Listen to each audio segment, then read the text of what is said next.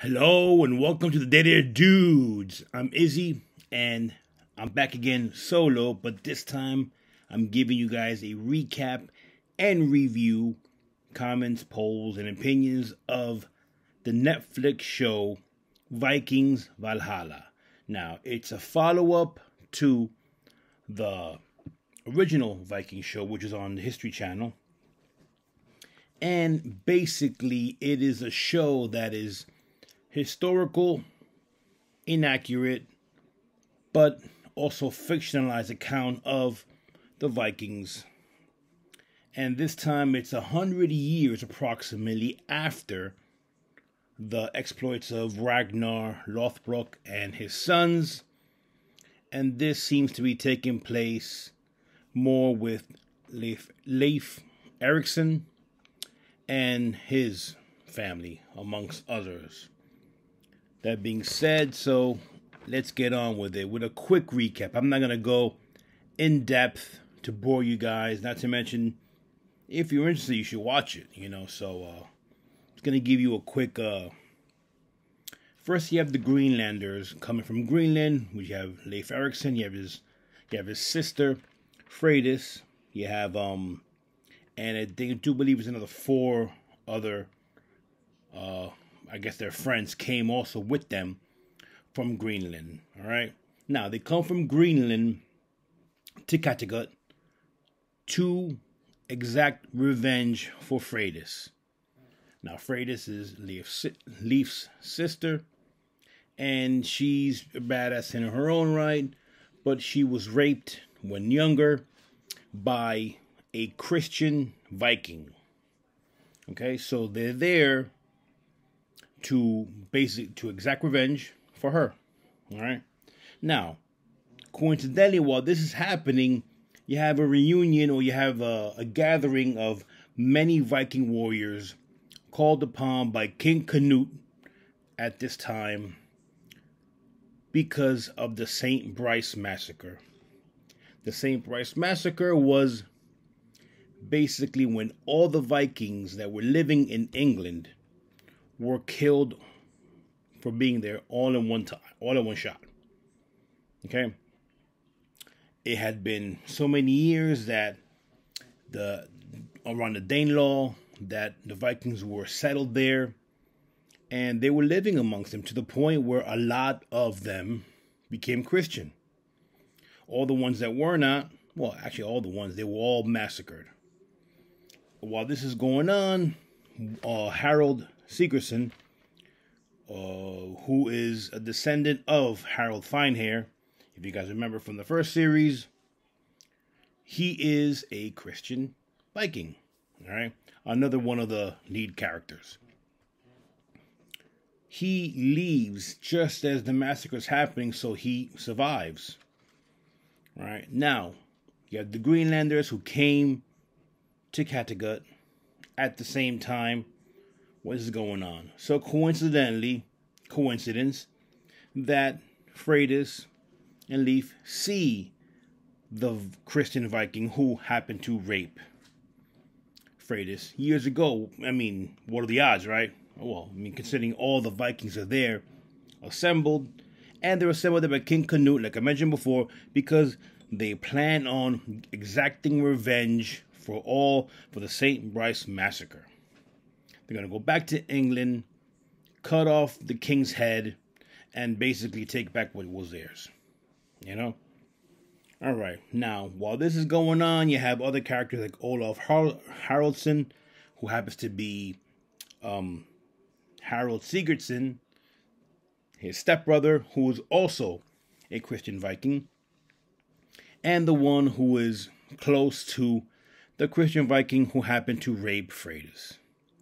All right. All while this is going on, you have uh, Earl Estrid Hakon, who is the leader of Kattegat, who a lot of people have been reading having an issue because she happens to be a black Viking, a female black Viking at that. I had no issues with it. The history doesn't, you know, that didn't happen, but I had no issues with it. She was perfectly fine. Right, as well as the leader of the, sh- uh, the Shield Maidens, Altora, who also happened to be black as well.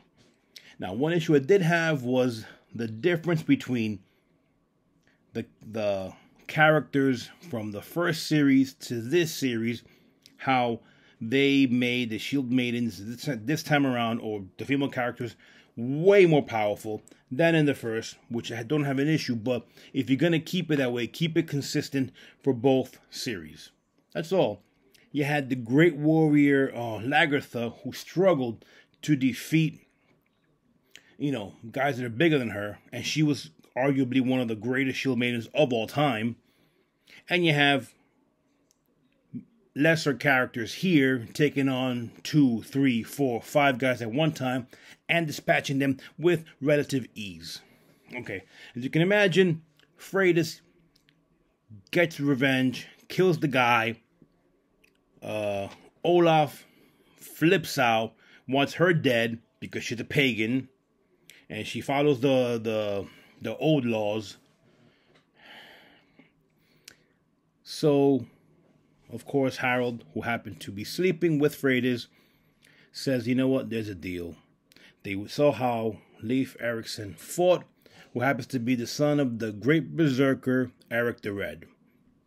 He's a beast at fighting and is a great warrior. So they say, you know what, we'll save your sister's life if you come with us to England to exact revenge. And boom. He agrees. She agrees. Leif goes off to England. And that's all I'm going to say about that. Okay? You can just imagine what happens there. Now, when you get the all the England parts, you have Queen Emma, who's from Normandy, who is the descendant of Rollo, who is smart and slick and behind the scenes. While you have Godwin, who happens to be a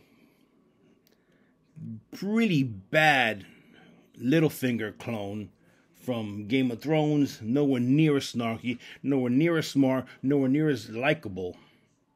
Well, even though Littlefinger wasn't likable, but he's the guy you love to hate. This guy you're just not a fan of. So you have that backstabbing, backbiting stuff that they're trying to take from Game of Thrones. Doesn't work. The dialogue isn't that great. It's pretty preposterous at times you have this huge religious uh, battle in the middle, which it was huge in the first series, but this is like you have the Christians and you have the pagans, and they keep harping upon that, that everything is, is based upon that. Then you have during the second half of the season, you have this huge um issue with uh Jarl or Earl Care or Carr, who is a religious zealot crazy man, berserker, Christian Viking who wants to kill all the pagans, including Freydis, and take over Kattegat. You could imagine what happens towards the end. You get into, into a huge battle towards the end where many people die and ridiculousness ensues. All in all, the series is not bad. You see, the beginning of it is okay, and it kind of lulls in the middle to a grand finale. Would I watch a second season? Probably because you end in a cliffhanger and you want to see where the characters go. Freydis is no Lagertha, and Leif Erikson is no Ragnar. Ragnar and the actor had a an inner struggle, constant inner struggle, where he seemed like a peaceful guy who only wanted to become a farmer but ended up becoming this great warrior and the the poster child for the series and the whole Viking thing in general, at least according to, to the series. While Leif, even though it's early, doesn't seem that way. He kind of seems a little aloof, a little emo, so to speak, and is not the same type of character. So, you know, Freydis seems to be a little more in depth of a character, but still not the biggest fan. You have the other ancillary characters who, eh, you could take them or leave them. I'm not going to go in depth into all that because there's like probably 20, 30 characters that have at least significant roles within thing, within this. Uh, obviously, it's it's it's historically inaccurate, but you know, you take that with a grain of salt and you nod and you say, okay, give me something interesting to watch. Eh, it's okay. Two out of five. Nowhere near as good as the first series. Is it watchable? Yes. Am I going to watch second season? Probably. And then I'll keep my options open to see what happens after that. That's pretty much it. Let us let me know or let us know what you guys think. Please comment, like, and subscribe. And as always, save the whales.